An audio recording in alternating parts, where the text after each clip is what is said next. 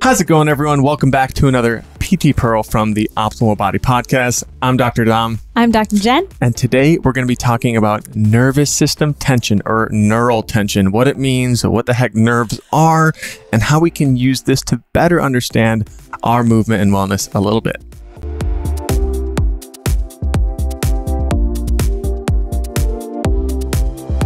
Nerves again they're part of the larger thing called the cent- or the nervous system and we have the central nervous system and the peripheral nervous system.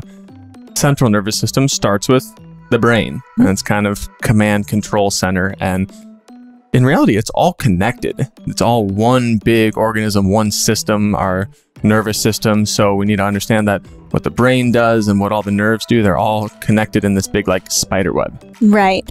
And it becomes peripheral when it's now coming outside of the trunk and the spinal cord, and it's now coming down to our arms and down to our legs. And Yeah. is like kind of peripherally what we can control a little bit more rather than just the signals that are be, being sent. But we do know that we have a bit more control over it all. And Mhm. so that's what gives us power into the central nervous system to be able to control some of our systems in general and how they operate and what signals they are being told and how our body is responding to that. And it gives us a lot of power, which I think is really cool. And this is when you'll usually feel it along a path because a nerve is not just a muscle, right? It's it's moving through tissue and it's it's connected from that spinal cord and then coming out all the way to our fingers. So sometimes it's like a line of pain that you might be feeling. So it could be different sensations in terms of it could be pain, right? Um, that's what you could be feeling. It could be sensations of like tingling, maybe numbness, sometimes burning. So if you've ever had any of these sensations, this is typically all related with nerve sensations. It's like if you've been sitting on your leg for a long time and then you Mhm. get up to move and you feel that like tingling or that kind of numbness, that muted sensation. Like that's kind of what nerve tension would feel like, but more along a specific path, not like your whole entire leg or something. well, Yeah. that's like you re- literally occ- occ- occluded, right? Yeah. Our sensation down from that path because we're super That's tight. all the nerves. It's not just like one specific nerve path. or even think of hitting your funny bone. We're not actually hitting our bone. We're hitting our nerve that that kind of comes out in that open area in the inside of that elbow, mm-hmm. and that's our ulnar nerve. And so when you hit it, it sh- usually shoots this like weird tingly kind of like sh- Pretty sharp right away. sharp pain. Yeah, that's like it doesn't feel good. You're not hitting a bone, you're hitting a nerve. So we do have, you know, special tests that we do as clinicians in order to rule out you know whether it is coming from the neck because like we said it can come all the way from within those vertebrae right? And so mm-hmm. is it something that's happening from the neck or is it something that's happening further out down the road? And that's why it is really important to work with a clinician who feels comfortable during doing a lot of these neurodynamic testing. And different than just you know oh i have this this kind of sensation that you might be talking about down the down the arm or down the hand i'm just going to do these general glides right? Or these Yeah. this nerve flossing technique. And sometimes sometimes it could help sometimes it might not be what your body needs. And so working also with a professional who can say okay this we're, we're doing the special test to really understand that this is where your nerve tension is coming from and the mm-hmm. reason that it's causing it. Because i think that's so important. Sometimes you could feel it in your hand thinking you have carpal tunnel but it's really the neck that we need to be addressing. And there's different mm. ways that we can kind of you know address that and really see what is the the cause of the issue and then sometimes it can be so aggravated that we don't want to necessarily start just doing nerve tensioning and flossing in that side that's affected. And so we really are working on our signaling um, in in what the body is interpreting when we work on nerve tensioning or neurodynamics.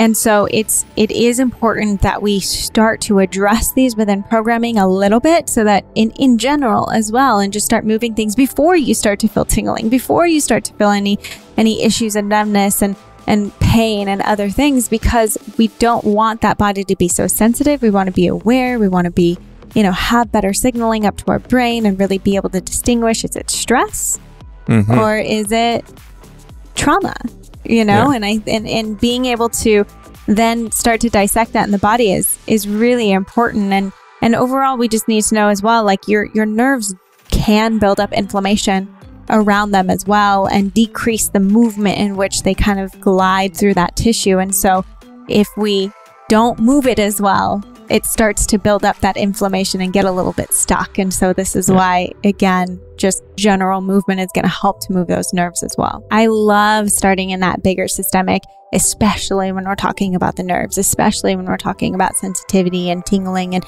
and shooting pain, any of that kind of sensation. Are you getting sleep? Are you getting enough water? Um, are you managing your stress levels? And, and this can even just look like journaling when the sensations come on Yeah. or noting it in your phone. Like, I'm at work, it feels worse. What am I doing? What have I been doing in the past hour? Like pointing those things out to yourself. Well, I've been sitting the past hour. I jumped on my phone and got some messages that I was, you know, you can start to tease these things out that have been like, okay, maybe if that wasn't in my environment at that moment, I might have been set up for more success or less stress and pain in my nervous system. exactly. Or even was it, you know, after you ate this huge meal the next day, Mhm. maybe you noticed some some changes in sensation. It maybe it felt a little worse, and you notice that if you kind of added more nutrients and stayed away from maybe a lot of the sugary stuff, it it changes it.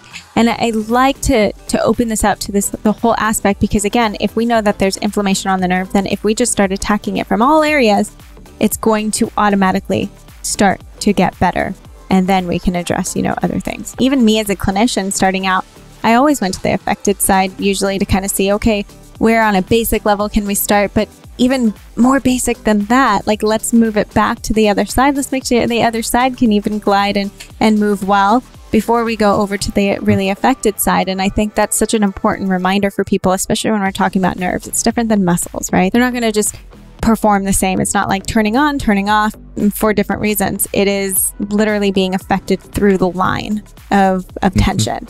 And that goes all the way over to the other side. So I think being so mindful of that is so incredibly important. And then we also get to realize too that, you know, nerves can get, they don't have to come from the spine. So it's not like a disc issue. It doesn't have to be like a, a stenosis where you're getting shortening Yeah. of the area within the vertebrae. It could also be just tightness. So, say you are on a computer all the time and your shoulders are always round and you're not doing much to kind of open up the chest or move into different positions, and the chest starts getting super tight. So, an entrapment would be my muscle tension is so taut that it's going to press down on that nervous tissue. And now the sensations coming out of from where that nerve would move from that pec is now going to be extra sensitive. And that could come down the elbow, that could come down along the hands and the fingers, or it could be entrapment under the elbow. It could be entrapment under the Yeah. carpal tunnel. I mean, there's all these different places along, and this is kind of where we go into the episode that we did on uh, thoracic outlet syndrome, and that was very early on. I want to say that was like episode six that we talked about thoracic outlet syndrome and how these different entrapments can lead to different sensations. Like a lot of people I know, when they get like kind of pinchiness or anything in the shoulder, sometimes they'll, they'll report like the pain kind of shoots down my arm. And it's not that, you know, the whole muscle along your arm is now affected. It's just that that there that extra sensation is causing some tension or whatever is happening on that nerve is saying like, ooh, we don't feel good. And so it's kind of reverting down the pathway of that arm or down the pathway of that leg or whatever it may be. And it's not necessarily again an entrapment, but it's an irritation to a specific muscle that's causing that sensation. If we pull like a, a, a baby's arm or like someone that's still developing and, and that arm Yeah. gets pulled really quickly, sometimes that could cause some tension at that brachial plexus, which is just where the nerves kind of come out of the neck and under the armpit area. And that can cause some damage around the nerve as well. And in general, nerves take how long to regenerate? I don't know. You hear all sorts of things like a millimeter a day or something Yeah. like that. Um, a I've long heard like a millimeter a month. uh, yeah, so a long time. Yeah. It's going to take a while for that to. And what what we mean by a millimeter a month is like a millimeter down your arm that you'll be able to feel, or a millimeter of the nerve length. Again, if you've had, had a nerve trauma and you wake up and can't feel your arm at all, like it, you should gain back a millimeter down that arm. Um, I don't know the exact amount of time. I don't know what study that's based on. But and and all of that to say it takes time and having patience with your body and and knowing that it's not all consistent. Like for some people it might all like all come back.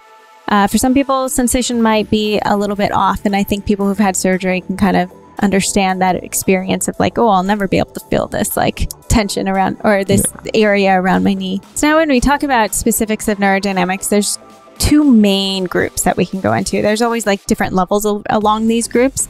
But in general, we're looking at can we slide the the nerve through the tissue? So kind of taking one end of your hand and and then rotating the head to the same side. So kind of, you know, they're all going together, one side and then the other, one side and then the other. Where tensioning is going to be I'm going to take my hand and my head and they're going to go against each other. And then I'm going to have more of like a pulling sensation at my nerve. And this is not bad. I mean, tension, load, it all helps our body to grow, gain awareness, and, and get better, but it is definitely a more extreme. and you don't want to start with tensioning, you want to start with more of the sliding exercises. And it's really just exploration, too. Exploration yeah. of what's happening along our nervous system is a great place to start. But we also have to realize that when we go into this, like even us as therapists, when we're starting to just like kind of test this on people, they're usually lying down on a table so they're flat and stable. We usually pull down the shoulders so that again we have some shoulder stability and then we move the arm. So if you're doing it standing and you don't really have, if you're bent over, if you're rounded, if you're kind of crinked in your neck, if you're, you know, it could, it definitely can change what we're going, what signal we're going to be putting out or what, what tension or what slide we're going to be putting out. And so there's just so many different ways to start to explore. And this is why it's not like, yes, we want you to explore into the nerves, but we also want to know how that changes when I move my body, how that changes when I move my back, my spine, my neck. And, you know, this is some of the mobility flows that we explore in the optimal body because we want to know, like, if I mobilize my back, do I get more freedom? you know, out into my fingers and out into my hand, out into my nerves and and kind of playing the role of incorporating this whole body system is just what we always talk about. So it's more functional and not just so static. Yeah, a lot of the times when I would have people having like these nerve uh, symptoms down their arm and stuff, I would get the biggest change when we did some like mobilizations to their back or their neck and worked on the shoulder blade a little bit. And then all of a sudden you free up that whole kind of system or that line down that side and it changes things so much, which is where Jen and I always talk about kind of this um, intersegmental uh, interdependence of the segments or whatever, which they all kind of depend on what the other does um, in how they function. Exactly. And so continuing to explore what your body is able to do and and how that all responds together, understanding and, and, and playing along with that. And we're not exasperating anything. We're not holding anything for nerve tension for a long time. We're exploring it, we're pulling out of it. We're exploring it, we're pulling out of it, and we're listening. If I do it five times and I increase my symptoms, I'm not doing it again. I think that's really important to note too. And it really does feel good when you kind of work on these different areas. We do it yeah. in the optimal body, and it's just, I always feel so much better after I've like addressed all the nerves around my leg or all the nerves through my arms in different areas. It just, it helps to free things up and and just continue to explore. Thanks for learning with us again on the PT Pearl from the Optimal Body podcast. Remember, there's more information in the full audio. So make sure to go over to the website, check out the full audio so that you learn even more about your body. This is just your way of being able to see what we're doing and ask more questions.